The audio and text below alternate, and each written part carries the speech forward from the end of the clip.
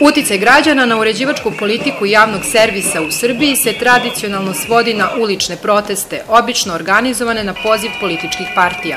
Postoji i drugi modeli uticaja na program javnog servisa, zasnovani na zakonu, ali oni nikada nisu razrađeni na odgovarajući način i građani ne znaju mnogo o njima. Svih ovih godina, koliko god su građani sugerisali šta bi želeli da gledaju, nije se ništa promenilo. Nemam televiziju, ne gledam, ni RTS, ne gledam ništa. Gledam internet. Eventualno možda kad bi bilo mnogo građana ako bi reagovalo na nešto, možda bi nešto promenili. Komunikacija javnih medijskih servisa i građana je kod nas na izuzetno skromnom nivou, skoro nepostojeća.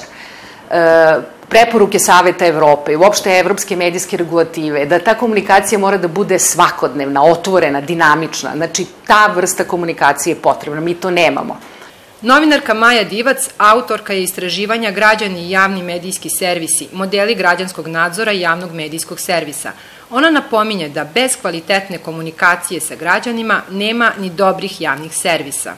Pa javni medijski servis baš i postoji zbog toga, to jeste medij koji e, treba da bude, da kažemo, na usluzi e, građana u tom smislu, da im omogući kvalitetno, objektivno informisanje, da omogući javnu debatu, sučeljavanje mišljenja, da im omogući da budu i informisani i e, da su u prilici da gledaju edukativne programe, programe iz kulture, dakle to je glavna uloga javnih medijskih servisa i e, taj model je prepoznat u čitavoj Evropi kao model e, medija koji je neophodno podržati i održati. Za sada u Srbiji građani mogu da komuniciraju sa javnim servisima putem e-maila ili telefona na sajtu televizije, ali bez obaveze javnog servisa da na njih odgovori ili da ih uvaži.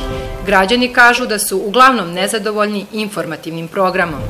Pa ako govorimo o informativnim emisijama, nekako su previše tvrde, krute, formalne, državne, složene nekom predvidivom hijerarhijom. Znate šta će biti još pre nego što čujete vesti? Šta je jednoličnost, jedna, kako da vam kažem, neinventivnost.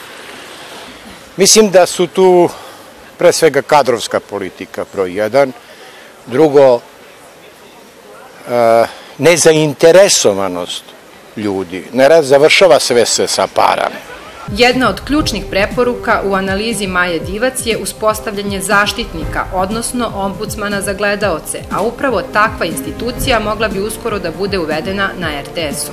To bi zapravo bila e, jedna emisija, osoba koja bi vodila jednu emisiju koja se tiče samog kvaliteta programa. I tu bi na mnogo konkretnijem i direktnijem nivou, da tako kažem, ljudi mogli da šalju komentare, a ombudsman za program da te komentare analizira i da vidi ko je e, najbrža, najjednostavniji mehanizam zapravo da se program unapredi. I to bi bilo kontinuirano. Ombudsman je vrsta garancije da će mediji ispunjavati svoje obaveze prema publici, a postoji u Sloveniji, Francuskoj, Portugaliji i Španiji. 2011. poverenika za korisnike usluga HRT-a uvela je susedna Hrvatska, kojeg imenuje Programsko veće javnog servisa. Jedan od najvećih javnih servisa u svetu, BBC, nema ombudsmana, ali ima odeljenje za pritužbe gledalaca. On svakodnevno komunicira sa svojim korisnicima, što je i glavni razlog kvaliteta i uspeha BBC-a. Oni u proseku prime 3000 pisama, e-mailova e, od građana i e, postoje službe koje e, se svakoga dana, 24 sata, vrlo temeljno i detaljno bave tim pitanjima i sugestijama. Tako da oni, na primjer, čak svakog jutra od svih tih pristiglih sugestija građana, to jest gledalaca, naprave mali dokument E, sa najvažnijim e, tačkama koji onda kruži celom redakcijom BBC-a. Tako na te, e, na te sugestije se odgovara. Dakle, postoji služba koja komunicira sa javnošću. Građanima u Srbiji data je mogućnost da učestvuju u javnim raspravama koje organizuju programski saveti RTS-a i RTV-a. Po zakonu godišnje treba da se održi bar jedna, a prošle godine javni servisi organizovali su po četiri javne rasprave. A Do sada mi često vidimo da te javne rasprave izgledaju tako da praktično ljudi iz samih javnih medijskih servisa koriste za, da predstave svoj program, da predstave na čemu oni rade. E, to nije dobar način, jer govore oni. Oni ne čuju šta e, građani misle o tim programima.